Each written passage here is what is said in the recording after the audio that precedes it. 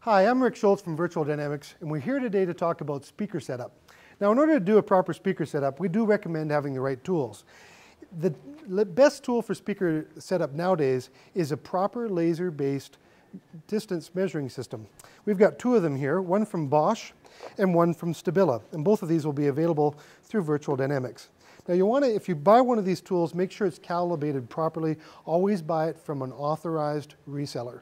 Um, make sure that, that you're getting uh, not a refurbished unit, but something that has guaranteed to have the accuracy. The accuracy is guaranteed on both units to be within a 16th of an inch. And uh, you can go ahead and, and read a little bit more about that on the site. But basically how they work is you press a button, and as you press that button, it turns the unit on, and then we'll send a laser out. And then when you press the button again, it will actually give you a measurement.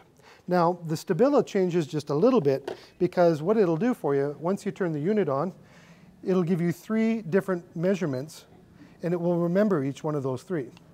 So you press it once, press it again, press it again, press it again, and it will continue to remember each one of those measurements as you continue to press it up to three different measurements. So you can average from that if you need to. Now, of course, we're not all about averaging in high-end audio. We want to make sure that we're getting the exact same number every time if it's possible.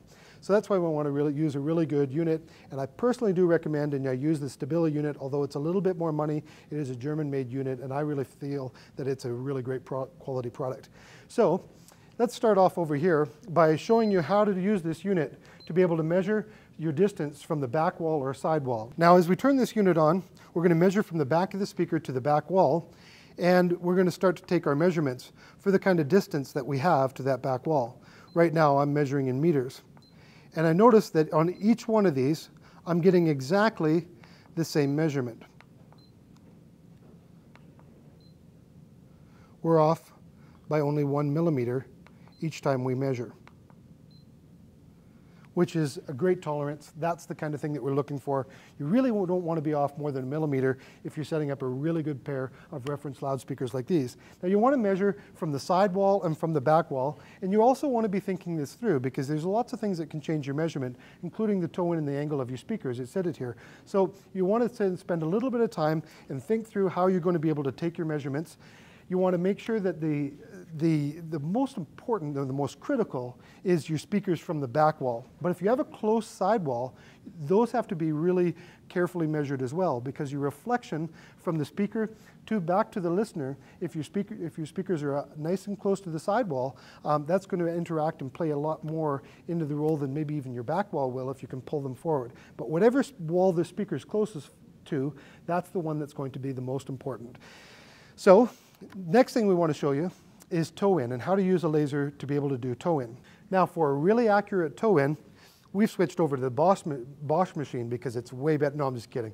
For a really accurate toe-in, we just decided to be able to use this other guy here and show you how both of them can work for the same thing. They both measure distance, and they both can be used as a laser pointer to be able to do toe-in. Let me show you how that works. You put the unit up against the face of the, of the speaker, and always make sure that it's at the same height. So if you level it to the top of here, make sure you do put an exact same place on your next speaker when you go to do it. As we shoot across, you can see that the, la the laser actually highlights on Mike's ruler over there. And we can see that we bring it to an exact point on that ruler. Now you're going to want to do this several times across the front of each loudspeaker. Because as you go to toe that loudspeaker in, and you go to toe this loudspeaker, you want to, uh, by the way, rock them on the back corner is what I suggest, so that that back corner spike stays in the same place, so that you're not going to uh, change the actual distance that you have from the wall. And as you rock it on that back corner and you start to toe it in, um, you're going to notice as you go back and forth that it's going to be increasingly hard to get the proper measurement. So you have to do it a few times in order to be able to get it right on the money. Now, if you've got it set so that it comes six inches in on one speaker, make sure that it's set so it comes exactly six inches in on the other speaker. That's the most precise and important measurement when it comes to toe-in. I'm Rick Schultz from Tips and Tweaks. We'll see you next time.